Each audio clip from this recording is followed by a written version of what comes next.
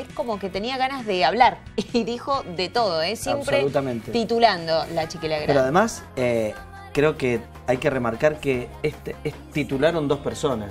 Una fue la chica y el otro fue la nata. Sí. Los dos. Y expresándose en contra del gobierno. Dos grandes bastiones que defendieron al gobierno.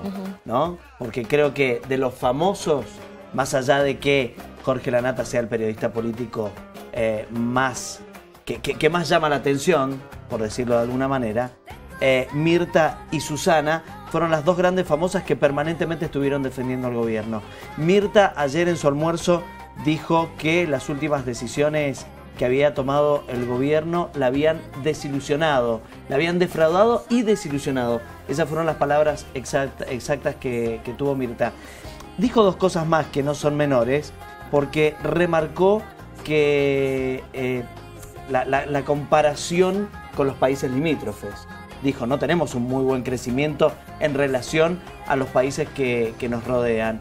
Eh, y también habló de la cantidad de negocios que se están cerrando en la City porteña, esto se hace notar y mucho, y la pérdida del poder adquisitivo. La escuchamos. Pero de aquí al año que viene... hacerte una pregunta. El partido, el, peronismo se está... La luz hay que pagarla en cuotas. Sí. Los sueldos suben más despacito que los precios. Yo te hago una pregunta a vos. ¿No estás un poquito decepcionada? ¿Qué me preguntás? Sí. Si estoy decepcionada, sí, sí, sí, estoy decepcionada. Sí, sí. Sí, a mí me tomó de sorpresa, a mí como a millones de, argentinos, ¿no? Yo hice mucho para que este gobierno ganara. Por eso te lo pregunto. Y es como que me hubieran defraudado. Yo me siento defraudada. Esto va a salir en todos los portales. Pero me siento defraudada, digo la verdad. ¿Sabes qué? Me da como rabia, como fastidio. Me da rabia que se hayan dejado avasallar así, que no pudieron manejar la situación. Yo creo que se pudo haber manejado.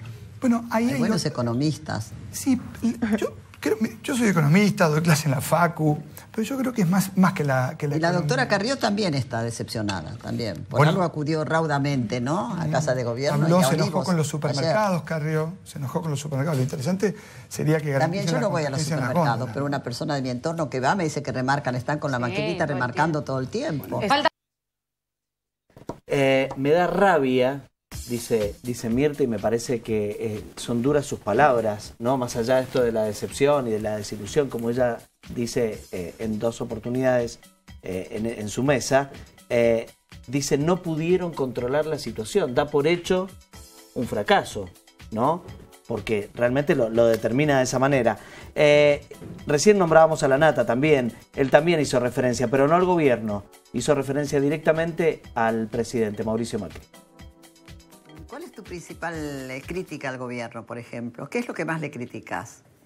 A ver, yo creo que el gobierno tendría que a veces tener, ser más político y menos técnico. No más populista, más político y menos técnico. Mm. Creo que tendrían que escuchar más. A veces se encierran y creen que tienen razón y no la tienen y a veces hacen boludeces por no escuchar. ¿Tiene buena prensa? Tiene la mejor ¿Comunica bien? A eso me ah, refiero. No, comunica, bien? no, pero Hay, un, hay un mito con el comunicar bien. Vos una mala noticia no la podés dar bien, porque es una mala noticia. Por más talentoso que seas, si la noticia es mala, ¿cómo la das bien? ¿Cómo digo bien aumenta 200% el gas? No hay manera de decirlo bien. No, pero en general, ¿no? yo creo que no comunica bien. Ahí hay un problema que es que Macri no es un líder político, Macri es un empresario, Macri no es... Eh, eh, por eso no sale a hablar cuando tiene que salir a hablar, porque no le sale a él hablar.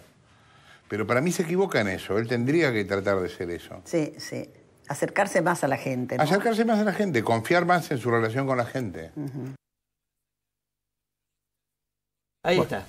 Están viendo una foto allí en pantalla, ¿eh? Ustedes sabían que la señora Mirta Legrand, esto tiene que ver una nota de color, dejando de lado eh, el tema duro del gobierno, desde ese entonces está diciendo que se, retira. Se retira, pero ¿sabes por qué se retiraba? ¿Por qué? Porque eh, había entablado una relación con un médico de origen cordobés y ya las familias se habían presentado, habían sacado fotos, había anillo de compromiso de por medio y, y ella había decidido dejar las tablas, como se dice normalmente, para eh, dedicarse a esa relación que tenía con este médico cordobés. Entonces pues, claramente fue previo a... Eh, a, Daniel Tiner. Después ella, en una película, lo conoce a Daniel Tiner, se enamora desesperadamente de Daniel Tiner deja al médico cordobés, empieza el noviazgo y al poco tiempo se casa. Esa foto de Mirta vestida de novia no es real. Qué linda. No es una real. producción. Es una producción de una película de ella, ah. porque Mirta acababa de fallecer su papá cuando ella decide casarse, fallece un tiempo antes y decide, por el luto que ella mantenía, casarse solamente por civil y vestida de negro.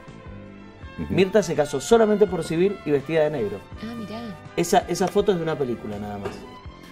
Cuando dijiste que dejaba las, eh, que, dejaba las tablas, pensé que tenía un aserradero o algo por el no lo hubiese ido mal tampoco, ¿eh? Es una mujer muy enérgica, Mirta. Muy sí, la, la re veo cortando tablas.